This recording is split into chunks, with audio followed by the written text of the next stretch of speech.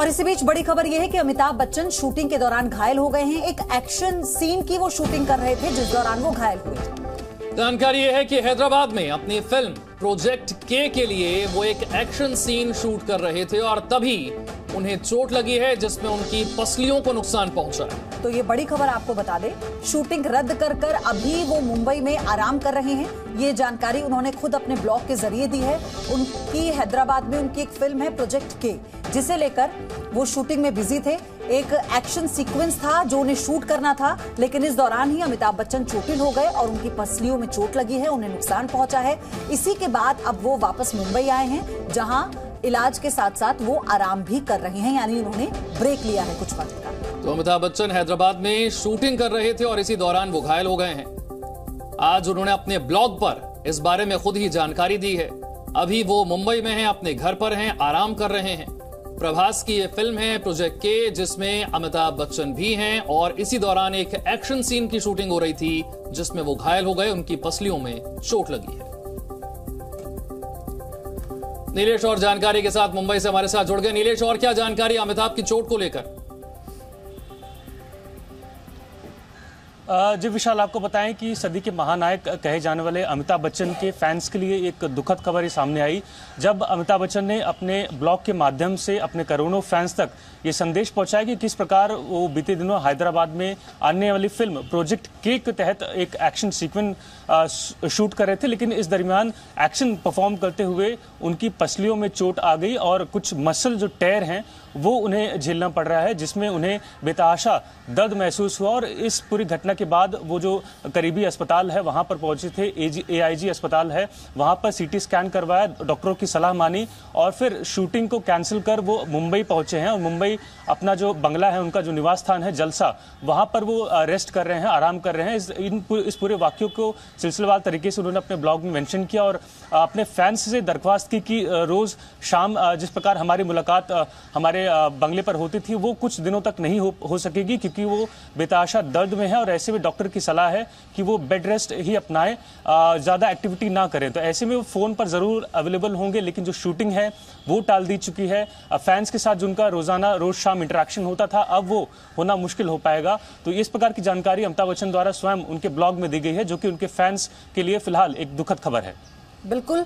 और नीलेश, इससे पहले भी अपनी फ़िल्म में कई साल पहले वो चोटिल हुए थे, आपको याद होगा, जिसके बाद पूरे देश में दुआओं का दौर शुरू हुआ था और वो फाइट कर कर वापस आए थे, कितने गंभीर रूप से वो चोटिल हुए थे। लेकिन अभी ये आप जानकारी दीजिए कि अभी वो पूरी तरह से सुरक्षित है, हालाँकि उन्होंने खुद अपने ब्लॉग से ये जानकारी दी है। ऐसी कोई और जानकारी?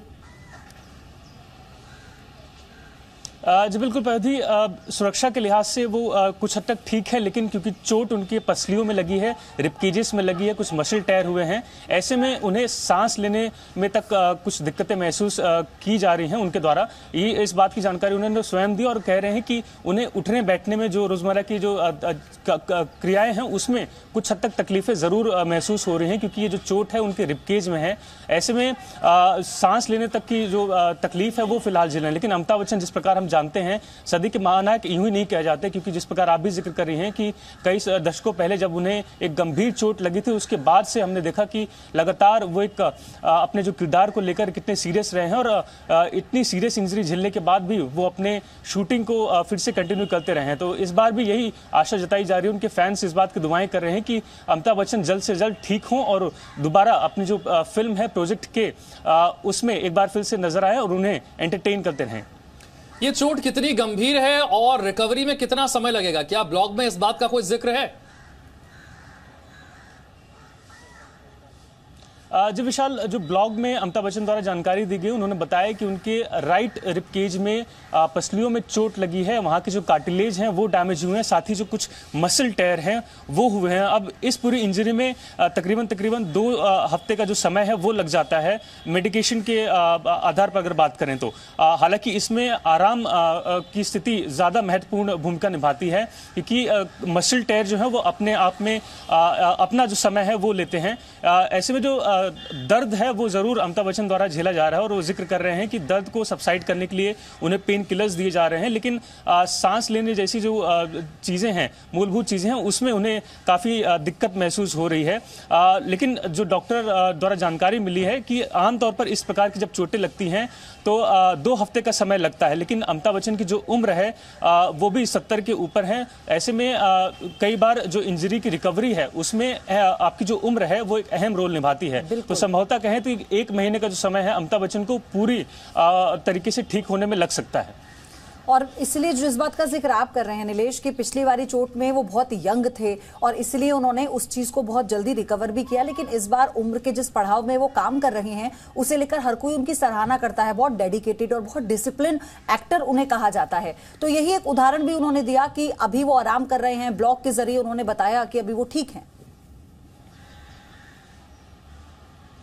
जी बिल्कुल पौधी आप देखिए कि अब वो फैंस के साथ उनका कितना ज़्यादा लगाव है क्योंकि इस दर्द में भी उन्हें अपने से ज़्यादा अपने फैंस की चिंता है और इसी बात का ज़िक्र उन्होंने अपने ब्लॉग में भी किया जहाँ उन्होंने इस बात को रेखांकित किया कि वो अपने मोबाइल फ़ोन पर ज़रूर अवेलेबल होंगे इन केस ऑफ़ इमरजेंसी लेकिन आ, अगर आप आ, मेरे फ़ैन हैं और अगर आप रोज़ की तरह हमारे आ, गेट के बाहर आते हैं क्योंकि हम जानते हैं अमिताभ बच्चन रोज़ाना अपने फैंस के साथ रोज़ शाम उनका अभिवादन करते हैं उनसे मुलाकात करते हैं ऐसे में वो नहीं चाहते कि उनके देश भर से जो फैंस हैं, जो मुंबई शहर इसलिए आते हैं कि वो अपने महानायक, अपने जो आराध्य हैं, उनको, उनके दर्शन कर सकें।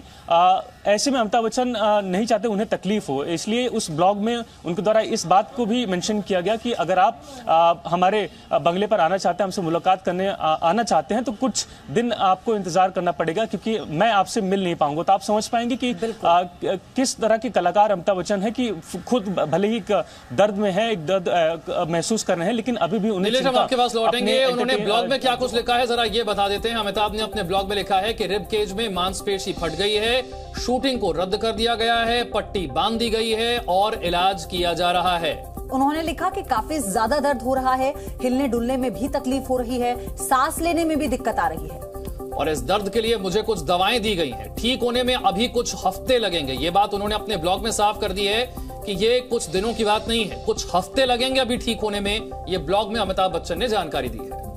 नीलेश हमारे साथ बने हुए नीलेश, फ़िल्म की शूटिंग को रोक दिया गया है, यानी अभी कुछ हफ़्ते, आपने कहा ना कि अगर बात की जाए, दो हफ़्ते अमूमन लगते हैं किसी भी दवा के बाद जिस तरह की इंजरी अमिताभ बच्चन को हुई है। लेकिन फ़िलहाल उम्र को देखते हुए, उनके और जो पूरा स्केड्यूल है उसी को देखते हुए, शूटिंग को भी रोक दिया गया बीच में।